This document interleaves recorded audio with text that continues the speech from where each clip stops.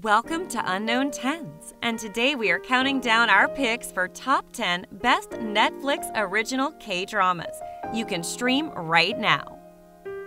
Number 10 Itaewon Class.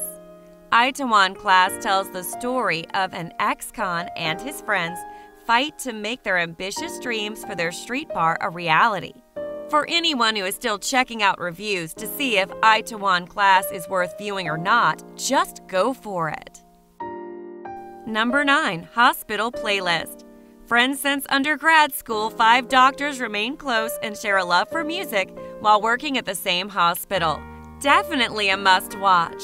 It's the type of drama which helps to bring us back to the most basic parts of life and learn to appreciate them. Number 8 Chief of Staff.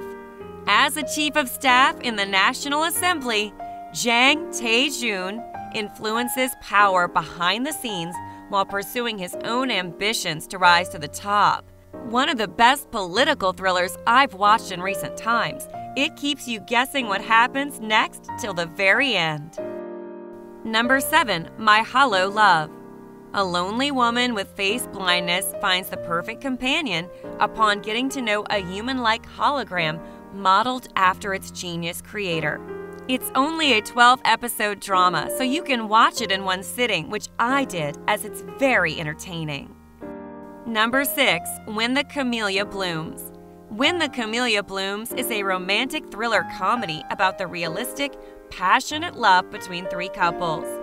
The drama will follow the story of a woman named Dong Baek and show how her life is tangled up with a good man, a bad man, and a cheap man.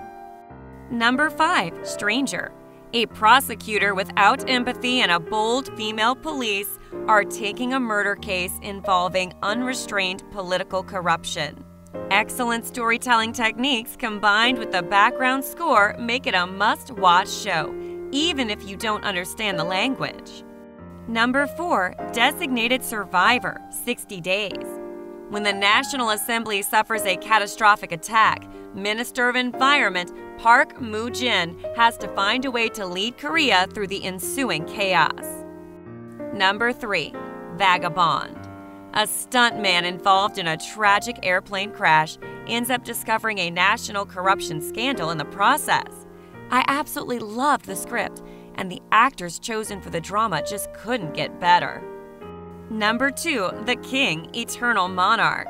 The story is about a Korean emperor who tries to close the doors to a parallel world which was opened by demons who were unleashed by a deity into the human world, and a detective who tries to protect the people and the ones she loves.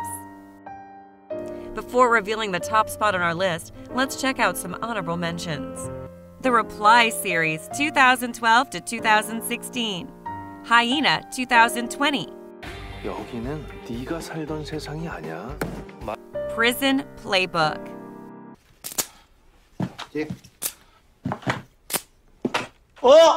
Number 1. Hi Bye Mama. When the ghost of a woman gains a second chance at life for 49 days, she reappears in front of her remarried husband and young daughter. Heartwarming, emotional. This drama might not be everyone's cup of tea, for it tackles a very emotional, mature story. But for those who will stay, will love it. What's your favorite one? Let us know in the comments and be sure to like and subscribe to Unknown Tens.